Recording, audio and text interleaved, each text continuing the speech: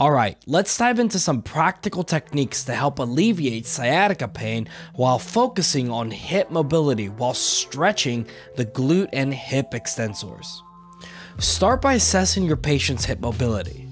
Once you've gathered enough information, we'll begin with a gentle static stretch. Flex the hip into deep flexion and place your patient's foot on your shoulder, closest to the table. Then apply your body weight into the leg until you feel comfortable resistance. To deepen the stretch, release your right hand and gently pin down the other leg so it does not lift off the table. This will amplify the stretch, so move with care and ensure your patient's comfort is prioritized.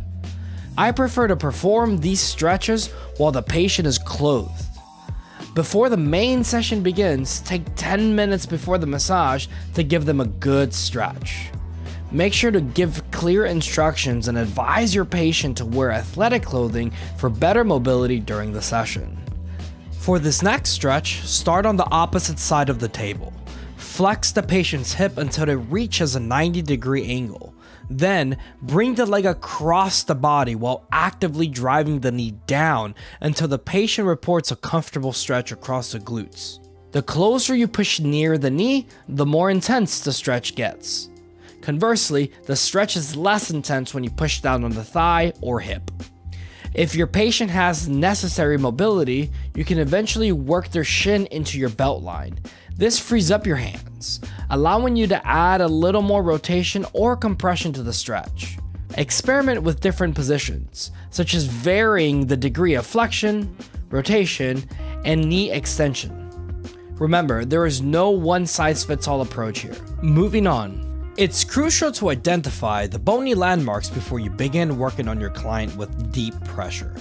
Pay close attention to the crest of the ilium, the edges of the sacrum, and the spinous processes of the spine. Palpate these areas with clarity, remembering that while our structures are similar, each person's anatomy can vary significantly. Start with a generous amount of cross fiber friction on and around the sacrum, Nothing too intense, just enough to generate heat and increase blood flow to these bony landmarks. Once you've warmed up the area, let's move on to some deep stripping. Begin by locating the spinous process of L4. To do this, find the top of the iliac crest and move medially. Once identified, pronate your arms so that your thumbs meet parallel to each other. Dig your fingers into the lamina groove between the spine and the longissimus muscle work your way across the erector and into the quadratus lumborum QL region.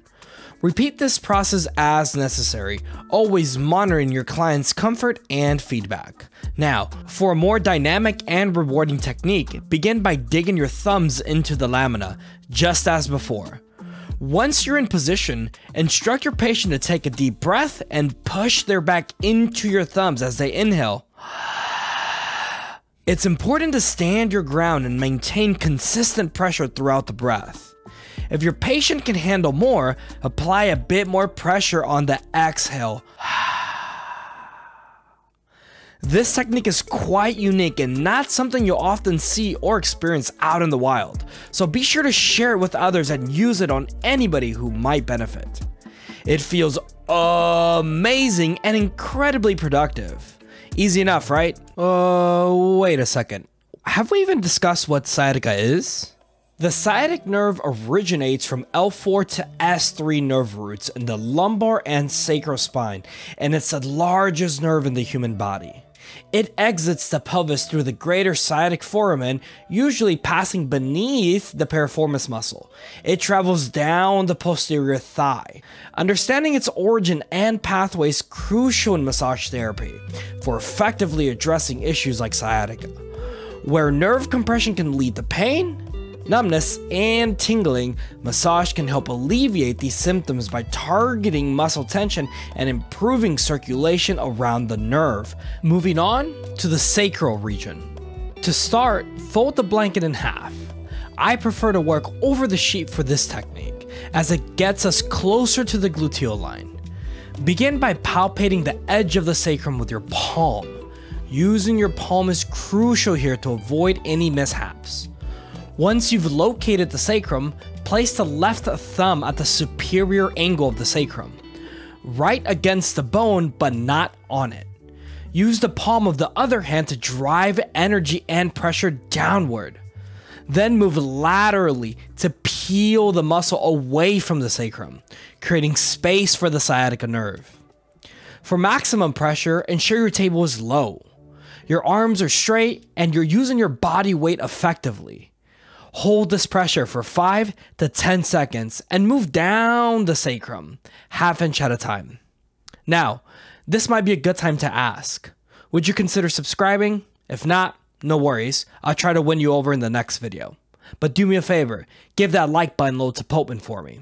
For an alternative approach, you can use your fist. This method covers a larger area of the sacrum, providing a broader pressure, less acute, Apply pressure mainly with the knuckles of the index and middle fingers, moving down and away as before. Now, let's move on to the piriformis. This is the muscle we've all been waiting for. But real quick, before we get into that, here's a nice little touch of transition. Stand on the opposite side of the table, externally rotate the hip, and get a firm overhand grip on the ankle with the left hand pulling it towards you. Meanwhile, use your right hand to apply pressure along the low back, sacrum, and pelvis. Alrighty, let's dive into the piriformis muscle. Start by shortening the piriformis muscle by externally rotating the hip. Locate the head of the femur, where the insertion of the piriformis is, and drive some pressure into the hip with your thumb while it's in its shortened position. Then internally rotate the hip as you work your way towards the origin. If your thumb begins to fatigue, consider switching to your fingertips. The piriformis muscle lies deep to the glute max, so you'll need to use a generous amount of pressure to be effective. For a nice change of pace, provide some different shaped hip circles to keep the treatment interesting and dynamic. For patients with sciatica symptoms, this muscle tends to be quite tight, so move with care and make sure to warm the area thoroughly beforehand. If using the thumb feels too acute and painful for the patient, consider switching to a broader approach by using the fist. This method is equally productive, but not as precise. This technique beautifully leads into some deep ironing, with a nice flair of holding the leg in external rotation. Remember, it's important to have a conversation with your patient before working directly on the glutes above or below the sheets. Discuss their comfort level and remind them they can change their mind at any point if they feel uncomfortable. For an extra layer between you and the patient, all of these techniques can be performed over the sheet. Now, moving on to the hamstring. If you haven't picked up on the theme yet, we're simply tracing the path of the sciatica nerve as it travels down the leg. As always, start with a generous amount of warming techniques, using whatever methods you find best suited for your style. Here's one of my favorites that I'm particularly proud of. I like to use the word elegance. Elegance? Elegance. Elegance. When talking about massage, move like a ballerina. Imagine yourself gracefully stripping from distal to proximal, keeping your right hand tucked to prioritize comfort. It's a small gesture, but it makes a huge difference. Transition into your fist for some glute ironing. Doesn't that seem seamless, smooth, elegant, some would say? Why don't ballerinas get massage often? Because they're always on their toes and never need it. Nah. Now, let's get back to business. Crossfiber is mandatory and creates space between the tissues of the hamstring, I find I can get more depth when I flex the knee and put some slack into the hamstring, using my fingertips to strum the muscles. This beautifully transitions to our passive pin and stretch. Start by flexing the knee, putting the hamstring into slack. Begin from distal to proximal, applying pressure with your thumb on the lateral head of the bicep femoris. Then extend the leg and move up one inch at a time. Super simple. On the way back down, hop onto the medial hamstring, targeting the semitendinosus. And don't forget about your homie on the right, the semimembranosus. This is a passive stretch, so encourage your patient to relax and play dead. The nerve ends at the upper aspect of the popliteal fossa. when it branches into the distal nerves, the tibial and common peroneal nerves. Prior to diverging, these nerves are structurally separate, but only loosely held together by the sciatic nerve. If you want to learn more about calf work, feel free to check out some of my other content, like this video right here, or this one on the other side. Thanks for sticking around until the end. Stay cool, my dear friends, sending much love and good vibes your way, and oh, don't forget to subscribe. Peace out.